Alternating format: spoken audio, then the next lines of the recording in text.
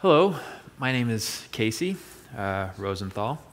Uh, I'm going to talk to you about chaos engineering. Chaos engineering, yay. So, this is a very timely talk. Uh, we just had the first uh, Chaos Community Day, uh, where people from um, kind of the usual suspects in the industry uh, Microsoft, Yahoo, Google, Facebook, LinkedIn, uh, we all uh, came together for a full day workshop in San Francisco and compared notes on chaos engineering, what it is, and uh, we're working to develop uh, best practices around this. So I'm hoping that you'll leave this presentation with a good understanding of what chaos engineering is and why it's necessary, and why it's necessary, why it's emerging now as a new uh, discipline within software engineering. So I work at a company called Netflix. For those of you who aren't familiar, it's kind of like Blockbuster but online. I'm waiting for somebody to say, What's Blockbuster? It's kind of like Uber for video. Um, so, and, and it's big. It's very, it's, uh, it's, it's very large. Our scale is very large. So we're about 40% of 40% of internet traffic at peak, um, which turns out is a lot. Uh, we, we have the world's largest CDN uh, several times over. And uh, we control that CDN, we control access to the video uh, with our uh, control plane, which runs in the cloud, specifically on AWS. And we run that uh, in three regions. So that's the software that, uh, if you happen to use Netflix, when you connect to the service and choose a video and DRM and all of that stuff, that all happens in the cloud. Uh, I manage uh, two teams that are pertinent to this talk. One is the, the traffic team, which controls where uh, the client devices hit the cloud, and the chaos team, which is related to chaos engineering. So uh, I'll briefly talk about Netflix's architecture uh, because I'll be using it as an example. We have what, what uh, the industry calls a microservice architecture. And here's an overly simplistic uh, representation, but here are seven services. And a service might uh, look like um, a login service or a search service. So these are isolated components uh, that you can hit uh, in the stack. And up top is a Netflix device, a television, mobile device, uh, PlayStation, something like that. And when that device wants to um, retrieve a movie or interact with our service, it sends a request down to a specific service, say uh, login. And then that service will fan out the request. So it'll make requests to, in this case, C and F, and then C makes requests to A, and F makes requests to B and G, and A makes requests to B, and G makes requests to B and E, and so on. Uh, we actually have over 300 microservices. So you can see that green layer, that spaghetti layer, gets pretty complicated. And then uh, when the services all finish communicating with each other, uh, eventually D uh, returns the request to the device. And while this isn't the only way that, um, that software at scale can be built, we do see a, a general trend towards uh, what we call decentralized development. So again, a microservice architecture is just one example of decentralized development. And you can see this in uh, loosely coupled asynchronous development models. It doesn't have to be microservices, it could be a, a monolithic application. Uh, actor models, I know that was a contentious uh, topic in one of the previous talks. Um, distributed development teams. So you've got engineering teams that are now spread out. Uh, basically, we're, we're kind of on the elbow of an exponential increase in the complexity of software engineering. And I'm not going to dwell on that too much because I haven't found that to be contentious. I don't know too many people who disagree with me. Uh, but if you look at um, everything from data storage to how we uh, deliver applications to what they're actually doing, they're getting much more complex. And when you combine that, you get this kind of exponential effect. So, for example, more uh, data will be stored in 2015 than in 2014 and all prior years in human history combined. Uh, that's an inflection point. You combine that with uh, the movement towards containers, uh, uh, infrastructure as a service, platforms as a service. Uh, you know, these are components that, as software engineers, we don't even necessarily um, have to interact with because we, we can't. And in order to get our jobs done, um, we have to rely on these components that we can't introspect. So I'll, I'll bring up, uh, I'll dive into one example in particular um, artificially incomprehensible algorithms. Um, you might know it by the, the, uh, the term AI algorithms. So, artificially incomprehensible algorithms can't be introspected. So, if you think of like a neural network, uh, if you want to know how it works, basically you can't. Some people call it a black box, but if you open it up, you, you'll, you, can, you can see integers, numbers, weights, um, but it's going to be meaningless for you as a software engineer. You can't possibly hold all of those integers in your head and, and map um, uh, a neural network of any note uh, to be able to predict what it's going to come up with as output. It's a lot of complexity. But the classical approach to software engineering uh, doesn't take this into account. So the software approach to uh, the classical approach to software engineering is okay. you are going to have some um, input, a function that'll either modify state or modify that input or, or do something, and then it'll have some predictable output. More sophisticated software is just a composition of units like that. And this is very convenient for testing because when you're testing something in the classical model, you can just say, all right, for this code, under these conditions, under conditions X, Y will happen. And you make that assertion. And then you can have confidence in your code by running a test suite and making sure that those assertions hold. But with an artificially incomprehensible algorithm, you can't do that because you don't know what y is. So uh, that's the classical approach. What else can we say about decentralized development? Well, focus on this guy for a second. Architects. Um, I'm not going to poll to see how many people here have the, the word architect in their title um, because I don't want to put anybody on the spot. But in decentralized development, the role of the architect is diminished and in some cases disappears entirely. So the architect is the person who uh, cannot just plan out an entire architecture, but when you want to develop a new feature, you know, you can go to the architect and sort of get their blessing because they have the mental model of how all of the pieces fit together. And so they're the person who can give a sanity check to an engineering design. But where we are in, in the, the march towards complexity in software engineering, our projects are moving to a place where no human can mentally model all of the pieces. So this role becomes less important. In the case of a complicated microservice architecture, we don't have architects. We don't have uh, people who can tell us, yes, all of these, these pieces are going to work well together, um, which leaves us with less confidence. Now, we make this trade off explicitly because what a microservice architecture gives us is faster development, so more velocity, and more flexibility. Because each of those microservices is owned by a very small engineering team. And they can push uh, changes to their microservice at any given time. We have several hundred uh, pushes to production uh, a day, if not in some cases uh, in, in, over the span of an hour. And all of those engineering teams are making changes to their own code base. They communicate with other teams, but there's nobody who sits in that green layer and makes sure that all of the pieces communicate together in some organized fashion. Instead, we get something closer to uh, emergent behavior. So I want to dive a little bit deeper into uh, this form of complexity, specifically uh, systemic complexity.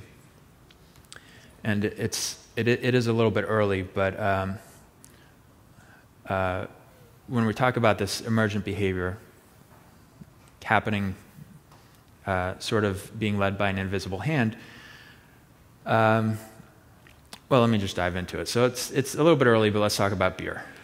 Um, I'm going to take you through, I imagine there, there's probably some MBAs in the room. If any of you are, are, thinking about, so for those of you who have an MBA, you might have seen this before. Um, uh, we're gonna, we're gonna, I'm going to walk you through the beer game. For those of you who want to get an MBA, I'm going to ruin a semester for you, so don't bother taking the, the systems thinking uh, class. So we're going to play the beer game, or rather, I'm going to take you through um, a hypothetical playing of, of the beer game. And the beer game has three teams, all focused around beer. One team, customers, they like to drink beer. Another team, retailers, they sell it. And a third team, manufacturers, microbreweries, they make the beer. And typically, what happens in an MBA class is the class is divided into th- these three teams, and they're moved into separate rooms. And they can only communicate to each other by passing slips of paper back and forth that indicate uh, intent to buy or money or goods uh, transferred. Okay, so in, in our example, um, we'll assume that this beer is a, is a relatively um, unknown microbrewery. We'll call it um, Kansas City IPA. KC IPA. So uh, it, there's, a, there's a baseline, there's a steady state, and you don't have to pay too much attention to the numbers. I'll run through them quickly. But for uh, any given week uh, on uh, your left, uh, the customer demand might be for one case of beer. So they purchase one, the retailer has two in stock, so after that one is, is purchased, they have one left. And then the retailer orders one from the manufacturer who has eight in stock, and they're bottling one. So consider this week zero right? And we have steady state because the customer demand is one and the ma- manufacturer is making one case. But then one week, um, John Daly, who's sitting up here in the front, told you that was a dangerous place to sit. He's an astute and very thorough uh, connoisseur of microbrewers. And uh, he digs up KC IPA because, you know, World Series and all that and he orders three cases. So demand goes up to four. He can only purchase two, actually, because the retailer only had two. So there's this uh, negative left of negative of uh, two, this demand that's unmet. Uh, but the retailer goes ahead and orders four to keep up, stay ahead of it. The manufacturer has eight, so they start manufacturing five again to keep up. And John likes it so much that not only does he drink uh, the, the case that he has, but he tells his friends about it. And John has a lot of friends. So the next week, his friends go, Oh, you know, again, the Royals won the World Series. What could be more um, uh, patriotic and loyal to our, to our team than uh, ordering some uh, KC IPA? So the demand shoots up to 16. They can only purchase four because the retailer only had four, so there's missing demand. The retailer orders 20 cases to get ahead of it, and the manufacturer starts bottling 40. Um, the Royals then actually win the World Series. So, of course, demand skyrockets, skyrockets to 64. They can only purchase eight, so there's some missing demand. Uh, the retailer orders 70, and the manufacturer wants to stay ahead of this, so they build a second microbrewery and start bottling 250 cases.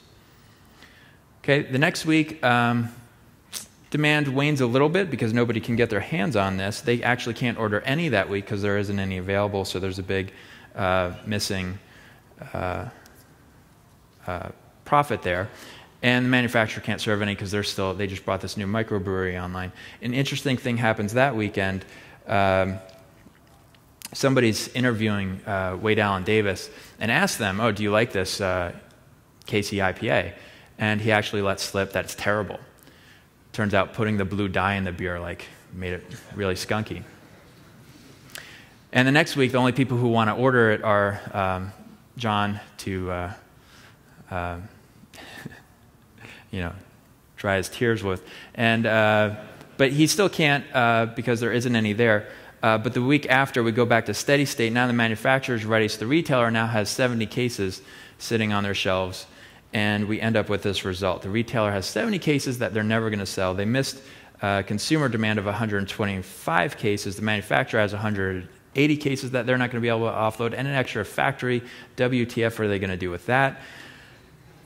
Now, the point of this game was to optimize for customer satisfaction and profit. And we ended up with a pretty terrible result. And I don't want to leave you um, staring at a terrible result. So, um, what's the point of this game? The point of this game isn't to prove that students are stupid. Actually, the opposite. uh, the people playing this game are just presumably very intelligent. In fact, they made uh, the correct decision given the information that they had at every step of the game. And yet, we ended up with a really terrible result. The engineers, there's a direct analog here. The engineers who write the microservices might be making those services 100% correct, provably correct, full test suites, exactly to spec, and yet the systemic effect of those services interacting with each other could lead to bad results. And we don't have an architect to turn to to give us confidence that all of these pieces fit together and, and work in a way that does what we want. So chaos engineering tackles that, that green layer.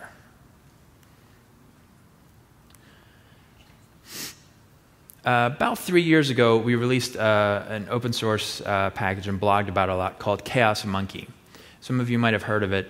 Uh, again, our traffic control plane running in the cloud um, has this feature where virtual machines can spontaneously disappear. And when you're running at a large enough scale, that's kind of a guarantee uh, when, when, you're deployed in, in the cloud. Sometimes VMs will just vanish. It turns out it's inconvenient when it happens at 3 a.m., um, and that's the time that all VMs usually uh, vanish, is sometime really early in the morning. And our engineers are all on call for their own services, so getting those calls is, is kind of a disruption. So we decided, hey, wouldn't it be great if those VMs vanished during business hours instead? And so that's what we created. Chaos Monkey will take pseudo randomly, take virtual machines in our platform and kill them conveniently during business hours. And this had a great effect on the, the availability of our service because it aligned all of our engineers to build their services in such a way that they can withstand, they're, they're resilient to this. They can withstand a server just disappearing, and it'll continue to run. that was really successful for us. And in, in, fact, we haven't had an impact on availability or uh, resiliency or performance due to Chaos Monkey for like two years. So we thought, huh, turns out breaking stuff in production has some value. What else can we do with this? So we created Chaos Kong, which is on the other side of the spectrum. So Chaos Monkey turns off servers. Chaos Kong turns off regions or, or data centers if you're not in the cloud. Groups of data centers, actually. So, um, now, uh, interestingly enough, Amazon hasn't actually given us a switch to turn off a, a region. Something about other customers are also there. Uh, uh, so we have to simulate this, but uh, we simulate a region going down and moving all of the traffic uh, elsewhere in the globe. Amazon loves it when we do that, by the way. Uh, the phone calls we get are really interesting.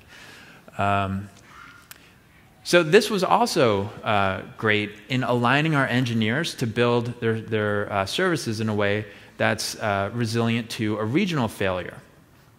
And in fact, we do this regularly now, where we'll shut down a region and route traffic uh, around it. And there have been a couple cases um, recently where we've had to use this in production, where Amazon has, AWS has run into an issue, and uh, we would have to evacuate a region and move traffic uh, elsewhere to keep this, the service up. So we thought, okay, so we've got Chaos Monkey on one end of the spectrum and Chaos Kong on the other, and really what we're looking for is um, confidence in the system as a whole. So how do we distill this into a formal method or a fundamental practice that allows us to take that practice and move forward so that we can have, uh, have this confidence that we're looking for. Um, so we actually did sit down and around a table and think hard about it. And what we came up with is uh, our description of uh, the discipline of chaos engineering. So here's our uh, elevator pitch. Chaos engineering is the discipline of experimenting on a distributed system in order to build confidence in that system's capability to withstand turbulent conditions in production. Now, uh, an audience like this, you're probably aware that um, the only conditions in production are turbulent ones. So that combined with this, uh, system, this uh, systems architecture that we have, this, this decentralized development that we have, how can we build confidence that this has the availability and the other attributes that we want? So we run chaos engineering as a series of experiments now, where uh, we'll pick some metric of interest. For Netflix, it's easy. It's uh, how many people a second uh, start playing a video. That's a, a fairly um, consistent business metric for us. It's an, it's an easy one for us to look at. And we say, okay, we kind of, we, that's, that's pretty smooth through time. We know what steady state looks like for that. So uh, we create a hypothesis that that steady state will remain steady even in the face of one of these turbulent conditions. And we construct an experiment where we take some production traffic, we run some of it through a control group and some of it through a variable group. In the variable group, we introduce a turbulent condition, like servers going off or uh, latency uh, rising or something like that. And then we look to, to see that uh, the, the stream starts per second remains steady. And if they track together, if they do, then we have more confidence that the system can withstand that condition. If they deviate, then our hypothesis is disproved and we have um, something to investigate and figure out why uh, the system broke down there. Taking that a little bit further, um, we created some advanced uh, principles. The first, uh, so the advanced principles are like our gold bar for chaos engineering. The first is to build a hypothesis about steady state behavior. As engineers, we often have a temptation to dive in and want to figure out how a, how a model works, how a system works. Uh, but an investigation is, a, is an allocation of resources. And so we're explicitly saying chaos engineering is not trying to figure out how the model works. We just want to validate, we just want to verify that the model does work. So to help us do that as engineers, we focus on um, a hypothesis on steady state behavior, not on algorithmic correctness or, um, or a non steady state metric, something that's, that's internal to how the system operates. The second advanced uh, principle is very real world events. So, again, in a classical model, you would make sure that this engine uh, performs exactly uh, properly, uh, which I'm sure it does. However, that doesn't matter if you run into a giant pothole. The, the variables in the experiment have to be real world effects. Again, uh, so stuff disappearing, um, latency introduced, packets lost, uh, errors being returned. Uh, kid you not, people shooting at power lines and hitting uh, trans- uh, internet transmission cables uh, out a little bit further west of here. Um, and sometimes not bad things, right? So, like a, a big uh, uh, increase in customer demand. That's not necessarily a, a bad thing, it's not a failure, but it's certainly a condition that you'd want to test for. Experiment in production.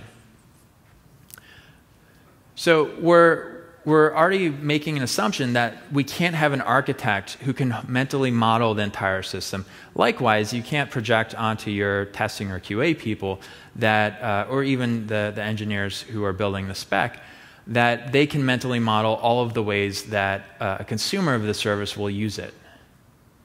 So the only way to verify that you're actually building confidence in the system you have is to test that exact system which means you have to experiment in production. Customers will use the service in ways that you don't expect. Your environments in production and testing will be different. In our case, we're pushing to production hundreds of times a day. So if we're testing a synthetic system, we're testing the system that we don't have because it's not going to have the same. Uh, there's, there's, there's no scheduling mechanism for us to verify that the current production set uh, matches the, the testing environment. And finally, automate your experiments to run continuously. This is kind of just a reminder to automate, but we found that our chaos engineers can't keep up, again, with all of those pushes to production in a given day. Uh, we can't manually build the confidence that we want in a system, we have to automate it. So, those are the advanced principles of uh, chaos engineering build a hypothesis about steady state behavior, vary real world events, experiment in production, and automate your experiments to run continuously. So that's one way to build um, confidence in um, a decentralized uh, developed system, or in, in, our case specifically, microservice uh, system. So I went through that a little bit quickly because I wanted to give you a preview of um, a different discipline, another emerging discipline that's also focused on uh, the complexity in these distributed systems. And we call that intuition engineering. And I'll show you a specific example, an application that my team wrote called Flux. So again, you have this complex distributed system. And in this case, I wanted the team to develop a tool that would give us a, a holistic sense of this complexity. I wanted, and I, I think I actually use these words, I, I wanted the team to build a tool that would give me a visceral feel of the state of the system. And they kind of just looked at me. So it took a while for me to find a metaphor that resonated. It's an absurd metaphor, but here it goes. Imagine we build a suit, and the suit is covered in electrodes and the electrodes correspond to different microservices. And when you're on call, you get to wear the suit. We affectionately call this the pain suit. so, three o'clock in the morning, you wake up, oh, my shoulder hurt. Oh, the login is down again. God. Um, after wearing this suit for not too long of a time, you would essentially develop a new sense you would just feel the state of the system. Right? So you start feeling a little bit queasy or a little bit off. You're like, ah, you know what? I need to go um, look at some metrics and graphs because something's wrong with the system. I just kind of like intuitively know it, and now I have to go figure out why. Um, for whatever reason, my team didn't want me to actually build a pain suit, so we haven't done that yet but we tried to find a visual analog. So I'll give you an example. Here's an example of Flux, which are, is our vis- visual analog for that uh, at, at the highest level. So let me tell you what you're looking at here. So uh, ignore the numbers um, because I made those up for this uh, presentation, but uh, this is a, a, video from the actual tool aside from the numbers. What you see in the center is the internet. The three corners are regions in AWS. So upper left is uh, US West, then U, uh, US East, and then EU West. Those dots are requests coming into our control plane from the internet.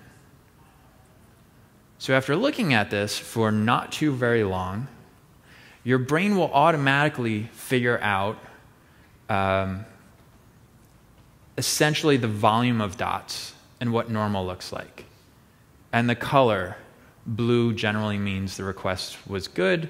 Uh, you'll see a couple red dots in there, those are errors, and orange ones, if you can make them out on that screen, are fallbacks. So they're requests that were okay, but they triggered a fallback within our system your brain will naturally figure out uh, generally the relative speed of the dots, which reflects latency. So, in this one uh, view, again, after looking at it for just a few minutes, uh, you can just glance at it and, yep, everything looks fine. You develop an intuition for the state of our entire control plane that you can access in just a glance. So, this is what we mean by intuition engineering it's building an interface that allows us to develop an intuition for these very complex systems. If you click on one of those regions, I'll just take you one layer in. Here's a deeper view. of uh, US West. I hid the labels to the, to the circles because the, the names of the microservices wouldn't mean anything to you. But the circle, circles are microservices. In the upper left, you see traffic coming in from the internet, and you can see how the request pattern is actually fanning out through our microservice architecture. Now, we pruned the tree so that there's um, a number of microservices here that you can visually take in. Again, we have uh, many hundreds, but a lot of those aren't important for the critical path. So this is basically the critical path for customers uh, navigating the site and finding and playing a movie. And in this example, um, most of those dots are blue, but uh, again, if one of the microservices is returning errors or behaving wonky, uh, after looking at this for not too long, your eye will just kind of focus in on, oh, something weird is happening down there. I should go alert that team or look into it. And in fact, while this was still in beta, we found a couple issues in production just by having this up and running while we were developing it. I mentioned one of my teams uh, is the traffic team, which controls moving um, traffic around the globe in, uh, in the case of a regional failure. Here's uh, a time shortened example of that actually happening. So, again, here's the regional view in the upper uh, left is US West. And you can see over time the error rate in US West is going up. So maybe we push some code there that's doing something wonky. So at some point, um, we get a little bit alarmed that it's reaching, you know, it's over 11% uh, error rate. And you can see along the top, we're now proxying those requests to uh, the East Coast. So uh, we have to wait for the East Coast to scale up to handle this uh, new traffic, so that takes a little bit of time. Uh, but at some point, we go ahead and flip DNS, and then the requests are just going directly to the East Coast. And now US East is taking all of the traffic that uh, it was taking previously, plus US West. We can then go in and fix whatever was happening in US West, or we could hold this position in, until we fixed it. And once it's fixed, we essentially reverse the process. We uh, continue to proxy traffic over, uh, but we flip DNS back. And then uh, once um, US West scales back up, we can go ahead and return it to the state that it was in. Uh, it would take about 19 um, charts uh, to view the same amount of information, and then we'd have to be tracking charts, which are a pain, uh, plus the, the numbers that they were uh, showing us, to be able to understand what you all now can just intuitively get by just looking at this. So we found this tool um, has actually been very, very useful for us. So again, that tool um, called Flux, example of intuition engineering. Uh, my team, I just want to uh, shout out to my team. So those are the guys who are doing the, the actual work. If any of you want to uh, get in contact with any of them or harass them, I can totally put you in touch with them. And hopefully I have some time left for questions on either chaos engineering or intuition engineering questions? No, no questions. Awesome. Then I guess it's lunchtime. I've got a question. so, my question is about what do you consider acceptable for data loss? Now, for many of us in this room, we work in the healthcare industry. Um, and my question to you, I suppose, is if we're able to take services down in production, uh, is it acceptable to be losing data potentially? So I would say that no, in the case where um, lives depend on the data, it's absolutely not acceptable to lose any of it. Um, that said, that I believe puts more uh, um, importance on running experiments like these in production. Because if you think your database is never going to go down, then you're lying to yourself. uh, you have to architect your system so that a database can go down and you still won't lose any data. And whether that means simply using an eventually consistent system or um, ha having a more difficult but uh, equally robust, strongly consistent system is a separate question. But absolutely, your data store for healthcare should be able to tolerate uh, servers, uh, data storage servers going down and coming down uh, regularly in production. And the, the only way to, to make sure that it is that it can handle that is to try it. And you, you know, again, if lives are on the on the line, you certainly want to do that in a controlled manner rather than waiting for it to happen randomly. So I would argue that chaos engineering is particularly important in um, uh, life critical cases. Maybe a little bit less so in financial ones, but. Uh, question for you. So, did you have uh, like the? So you mentioned architects and kind of this view that I know how the whole system is composed together. Um, did you have that before, and the migration from kind of a traditional architect role to this, you know, chaotic view of there is no architect? Maybe just talk about the transition process if you had that. Sure. Um, so I can't say too much about it because a lot of it happened before my time at Netflix, but we did used to have, like eh, seven or eight years ago, a monolithic application living in a data center. And we explicitly decided we want to move faster and we want more flexibility to create features. And so that's why we broke our engineering out over time into microservice, uh, microservice architecture. Um, it didn't require a lot of selling at Netflix. I understand that other organizations, some of them have a more difficult time selling that. Um, but yeah, at this point, we, we don't really have, some people have the architect in their title, but we don't really have an architect, certainly not a chief architect, at Netflix. Uh, the engineering teams build their own services and manage that, and everything just kind of sort of works. Hi, thanks uh, for talking here. It's really awesome. We're a startup. We've got three developers and like 50,000 users and uh, eight microservices at this point. Basically, following your blog for every uh, piece of advice on how to do everything. Cool. Um, and I wonder if you could talk about so right now, we all sort of have the whole mental model, and with we all being three people, it's like fine. I wonder if you could talk about a technique for sort of transitioning to not knowing what's going on and trusting in the green layer.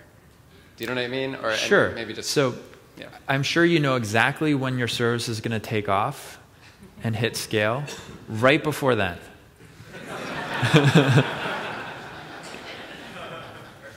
I, yeah, I don't know what that means in, in your business context. 50,000 users, you know, you're, you're, you have time to um, get solid footing. Um, it, it, you know, this, like many systems, uh, chaos engineering uh, is easier if it's in place right before you need it. Um, in, in our case, that wasn't the case. We, we, we are still implementing it after the fact. Um, but on the flip side, it's easier for us to demonstrate ROI because it's like, oh, we had this outage. Now we have chaos engineering and no longer have those outages. See how wonderful chaos engineering is? Um, but that takes some some arguing to get the to get the well, and some persuasion to get the engineers aligned towards what chaos engineering gives you. If you have chaos engineering from the get-go, then it's easier to just keep carrying along. But you also won't be able to point to what your service would look like without it. Um, so I don't think I really have any useful advice there, but good luck.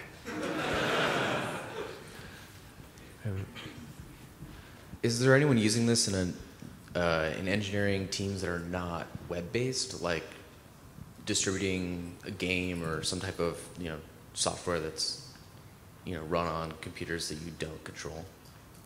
Uh, so Netflix runs on uh, over 2,000 devices. Uh, and most of our traffic is not web based. So, uh, chaos engineering, yes, absolutely. There was another. Yep. Uh, can you give me ex some examples of the different services that you would split out into, into into the micro, the different microservices that you have? Uh, entirely depends on your business context. For us, I can give you examples like um, identity management, right? We call our users subscribers. So subscriber has its own service. Um, search is its own service, right? If search goes down, we don't want the, the, the application to stop working, right? So the, you know, there's going to be fallbacks in there and stuff so that people should still be able to look at their list of movies and play stuff. Um, that's kind of a non-critical service. Uh, we have a lot of personalization algorithm teams to make sure that the, the movies that are shown to you on the front page are ones that are relevant to you. Um, we have different services for the different devices Android, iOS, Windows devices. They're all going to have different services that they talk to. Um, different storage services. So we've got, um, we use a lot of uh, Cassandra for application state uh, Hadoop for analytics, S3 for long-term storage, uh, EVCache, which is you can think of it as like distributed memcached. Um, so each of those have different services. Data pipeline. I mean, there's hundreds. So Is there an intent to um, open source Flux, or is that like a completely internal tool, or will that be something we can use at some point? So I wish uh, some of my engineers were here so that I could give them a hard time about that. The, the idea is that uh, the, the general thinking right now is that the interface will be open sourced um, in some matter of quarters. Uh, the hard part is extracting the data to feed the interface. Uh, and that is entirely dependent on you know, the architecture that you have deployed. So that, that, uh, that interface, this one, um, this is WebGL based. We looked at a couple, you know, we looked at D3, um, I think it's called Pixel, P-I-X-L, and a couple other ones. Uh, we found that to get the, the visual effect that we wanted, we would have to go a little bit lower level. So this is a WebGL based and um, React and you know uh, other kind of typical JavaScripty framework stuff. Uh, but then getting the uh, JSON data structure to it that informs this piece and the and the other view, um, that would have to be platform dependent. So we can uh, like in the open source version, we'll define what that uh, data tree looks like, and if you can provide that, then you'll be able to hook this into it. Cool. Okay. Lunchtime now. Great.